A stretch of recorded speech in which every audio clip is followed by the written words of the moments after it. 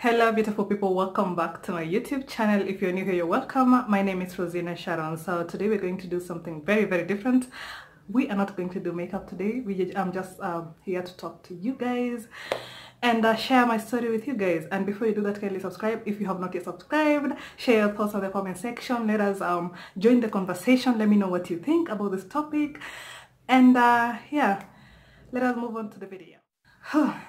So this is a topic I've been meaning to talk about for the longest time ever, but I was afraid. I was afraid of uh, the response I am getting. I am going to get one, the response I am getting. I am going to get from my family, my friends. I think it's only one friend of mine who knows this story. I do not tell the story to many people, and uh, they may come for me. They may come for me because they don't understand where I'm coming from.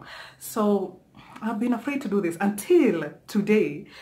Uh, this quote from Michelle Obama, The Becoming, from her The Becoming book. I don't know if you have read that book.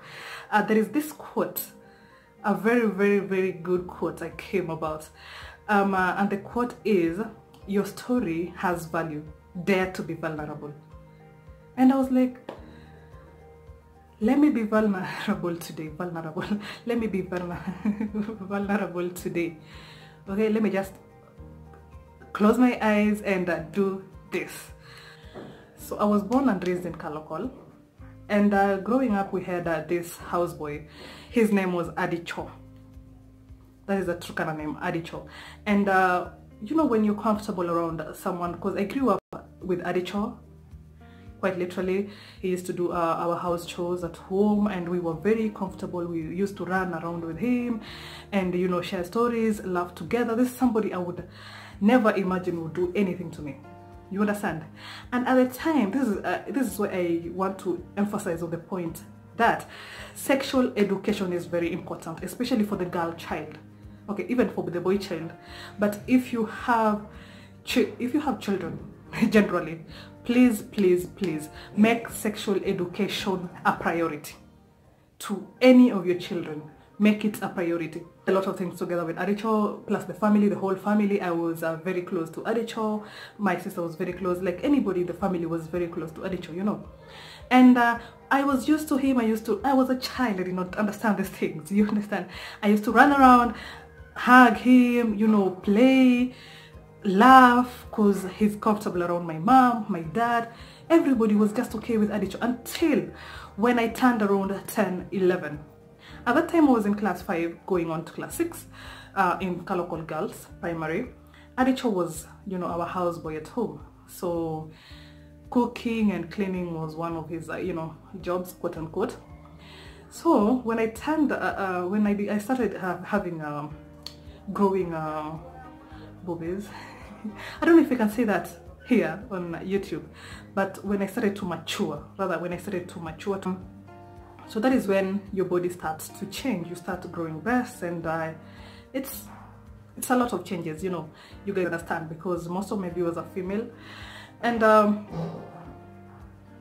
growing up when you're comfortable around someone even when you you start you know becoming a woman quote unquote in your mind you're still a child. At 10 11 12 going on 13 you do not understand um, you know this adulthood stuff and at the time I had not received sexual education. So at the time I did not understand what was going on.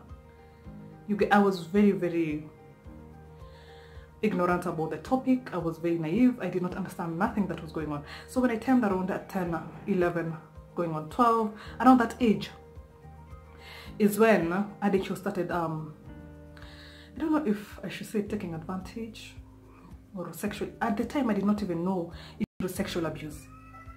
At the time, I did not understand that was a sexual abuse. I wish I knew. I really wish I knew. I honestly, I wish I knew what was going on. Because at the time, I did not understand at all. So, so when my mom, you know, goes to take, I don't know if from rural homes, you do not have a bathroom inside of the house. You have to get out of the main house. The bathroom is uh, just besides the pit latrine mostly and it's normally outside of the house you have to walk to go there you know so when my mom goes to say take a shower or uh, yeah, you know, take a shower, Adicho would convince me to come to the kitchen where we used to cook, or rather where we used to cook. And then he would, um, you know, we used to play a, play a lot with Adicho. And I did not understand what was going, what was going on at the time. I did not understand at all. So he would, um, you know, raise me up. The way you raise children, you know, through your arms and then he lifts you up. He would lift me up, put me just above his um, penis, just above his, uh, you know, private area.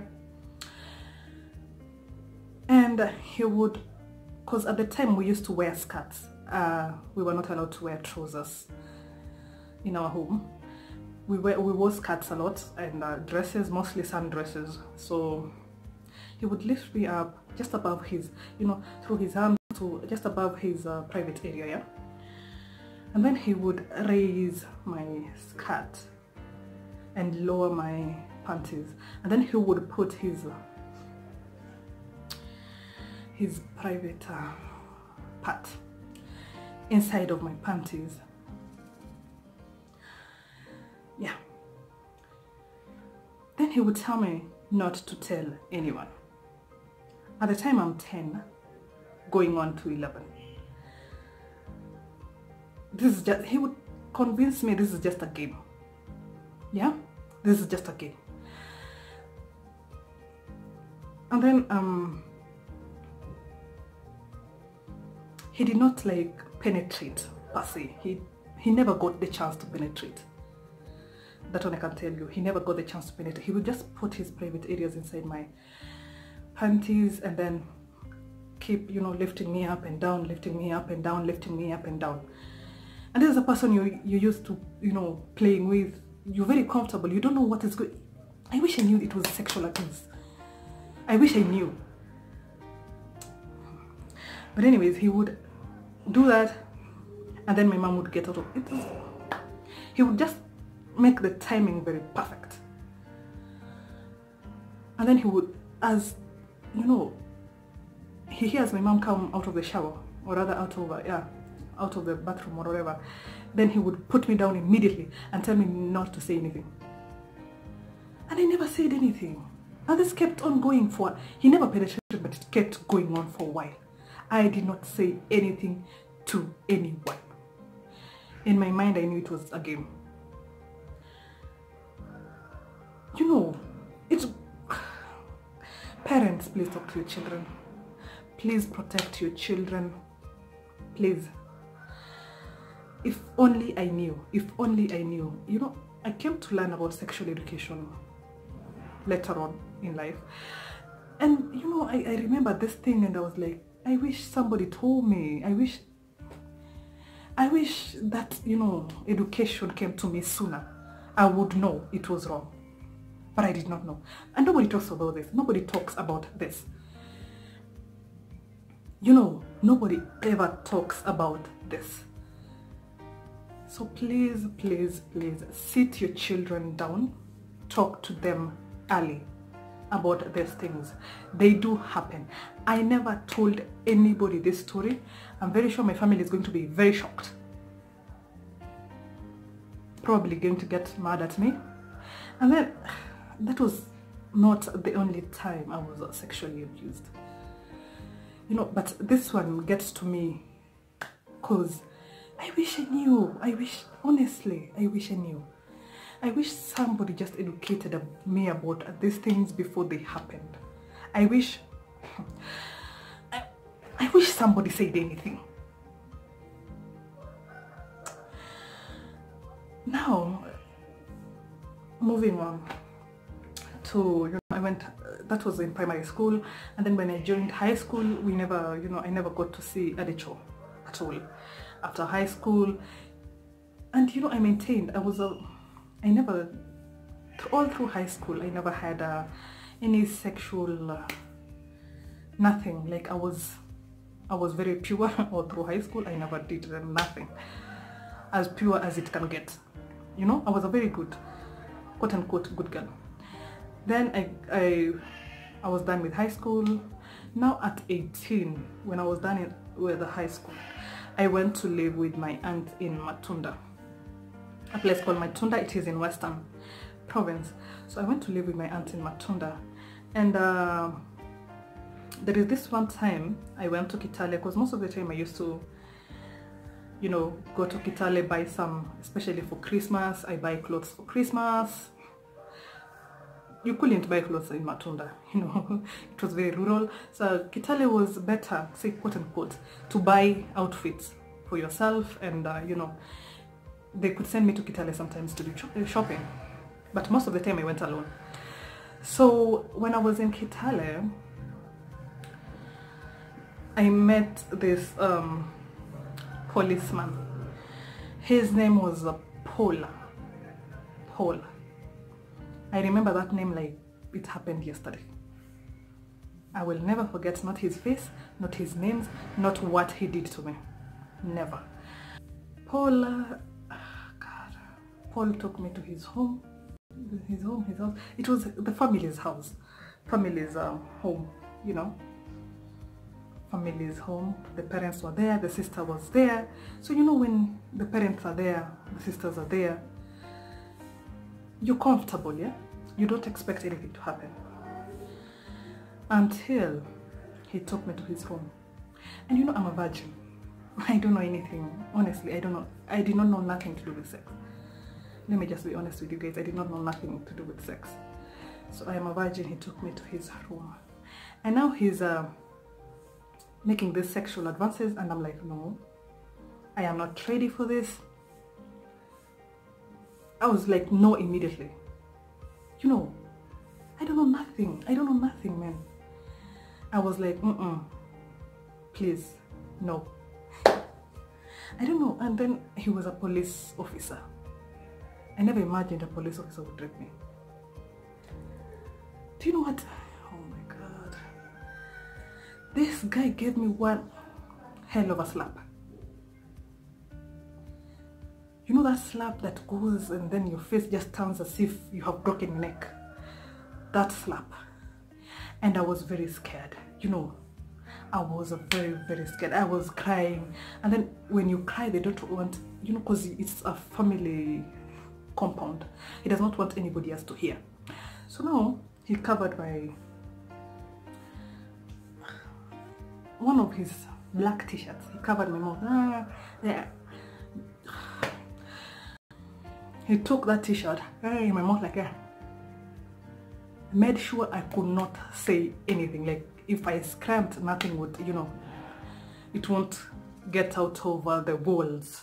Say nobody would hear. And then after he was done with my mouth and slapping me and telling me, I don't know if you understand so for those who don't understand Swahili let me just quote what he said what exactly he said. What um he said wacha kujifanya baby ni kama hizi vitu haujui. Okay that means like stop pretending as if you've never done these things. And I, I was a virgin I've never never. You know? And then he would slap me and then telling me like stop acting a fool he would beat me seriously. He, eh, the slaps, hey, the blows. And then he took my hand, one hand, eh, tied it to one side of his bed like this, as if I was across. This other hand like this because I was trying to, you know, fight him and and then he took one leg, tied it to the other corner. So I was like this, as if, you know, I am in a process. And then he raped me. How do you how do you enjoy like having sexual intercourse with a person who is in pain? Do you even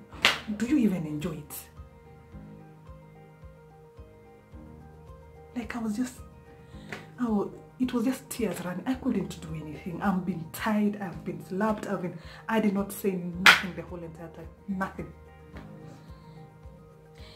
He was done with what he was doing. And you know when you're a virgin it is very painful. It is very painful when you're a virgin. Even when you have consent i've been told even when you consent to it the first time anybody penetrates it's very painful.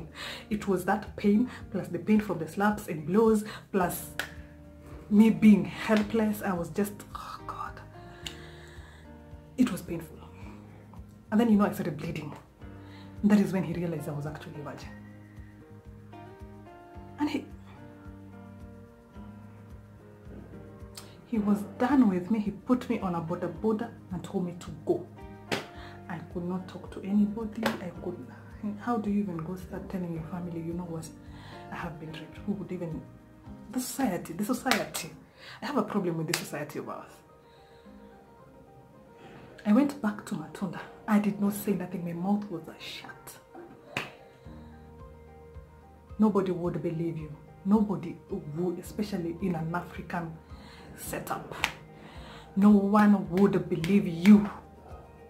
Not tell anyone not my sister not nobody i just kept that information to myself. I never met paul again after that. We never spoke we never did nothing. I never reported you. That is why i tell i'm telling parents especially sisters big sisters big brothers big cousins please talk to these children about sexual education it is okay to report when you have been sexually abused. It is okay to talk. This thing is going to eat you up for years. And i'm telling you this from my own experience. It is going to eat you up. It is going to affect most of your relationships. Talk about it. I know especially for african setups it is very hard for you to open up about these things. It is very hard. So i never i never told anybody any. I wish i had somebody you know. And then growing up especially in an african setup you're not very close to your parents. That is a fact.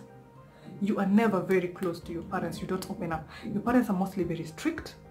It's either you do something right or you get punished they never allow space for you to talk openly about things. They normally don't even talk about sex at all. So I know it is very hard to find somebody to talk to uh, about these things. It is very hard. Even for friends, it is very hard to tell a friend I was raped. They will they will judge you immediately from the word go. And that is why I have a problem in society. Please educate your children about these things be very open with your children. Allow them to express themselves. That is the only way you will know what is going on around their life. Prevent it before it even happens. There are always signs. There are always signs.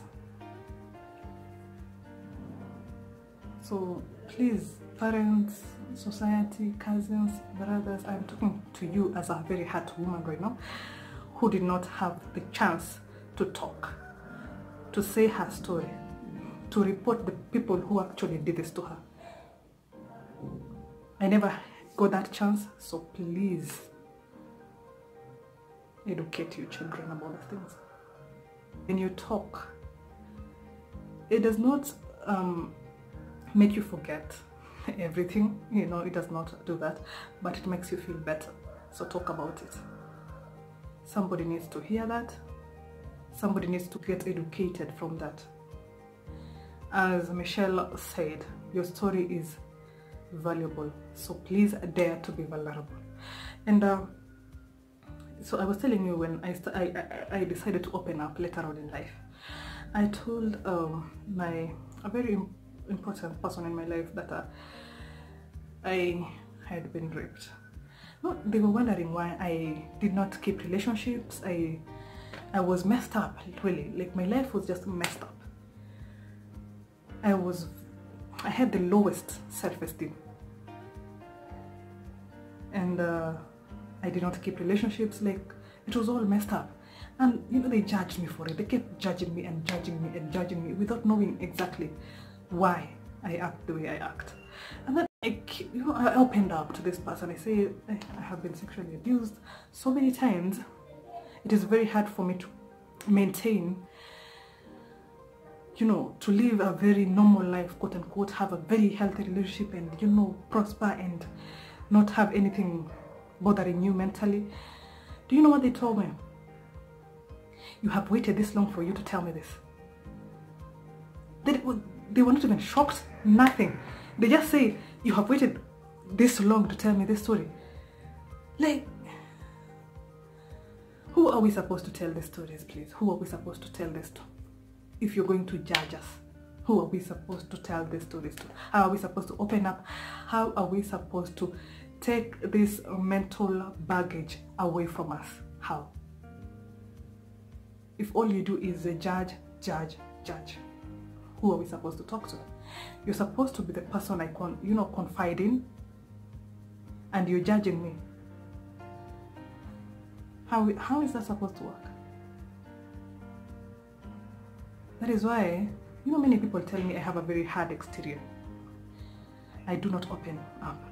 So many relationships I've been in, they always tell me, why don't you open up? Why don't you open up? Like, you don't say anything. Whenever I am stressed, I do not tell anybody. I'm just by myself. And, uh, you know, they keep asking me, why do you, why don't you open up? I'm like, in my head, I'm like, you know, because opening up has made me more hurt than I was before. If opening up will cause me more pain, I'd rather not open up. If opening up will make people judge me more, I'd rather not open up. So please, so I don't open up for that reason. I'd rather die with my problems. That is a very bad mentality to have, but I, I struggle with it. I struggle with it every day.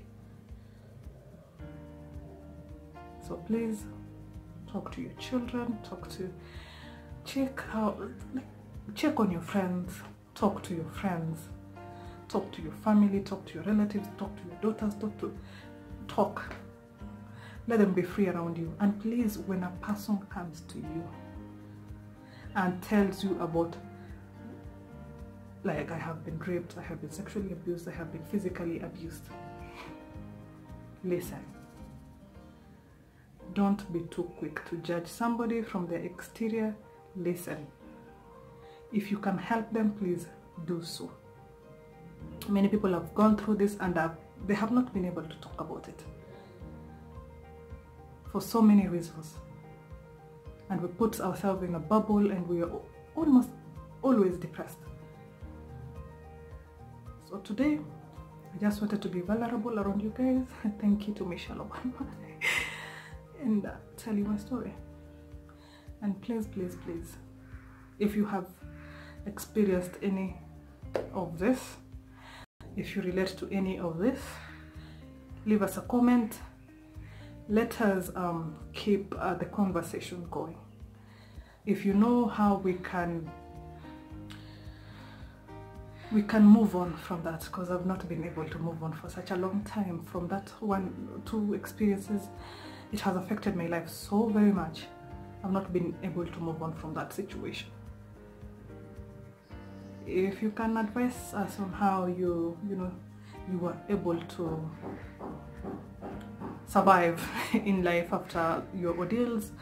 And uh, please please please I wish, I wish I had a hotline number for when you're raped how you can call call 911 call call somebody please. Don't be afraid to talk. I never had the opportunity to do so but now you do. Even on my Instagram on my Facebook if you're going through something and you need to say you need to tell someone about it. I have a code for my Instagram followers and my Facebook followers and I'm also going to share that code with you guys. So if you're going through sexual abuse physical abuse from your partner you're mentally being abused. My code is just order for a makeup product. Come to my Instagram and you don't want, you know, most of the time when you're sexually abused and physically abused, your partner is psycho. They will not allow you the chance to tell somebody this is actually going on. So just pretend you're ordering for a product and I'll know exactly what you're talking about. If you're being raped, just order any Colourpop products. Just come to me. If, if just say hi and then write code Colourpop. If you come order for products, I may think maybe you're ordering from my store. But if you write hi, code, say Colourpop lipstick, say three of them, any Colourpop product, just start with the word code and I'll be able to talk to you to understand exactly where you're coming from. So that is my story guys. Let me know. Let, let us uh, continue with the conversation. Thank you so much for watching. I hope um, it is not a very long video for you. And um, hope we keep we start talking about these things more start educating our children more and uh, let us grow from what we have been through. Thank you so much for watching. I'll be seeing you in my next video. Bye